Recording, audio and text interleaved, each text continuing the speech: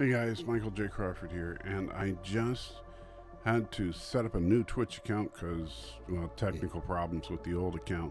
So um, I was planning on doing a Twitch stream on the old account today. but that's obviously not going to happen. So the link to the new account is below. Please check that out. Sorry for the confusion, and thank you for your understanding. Take care.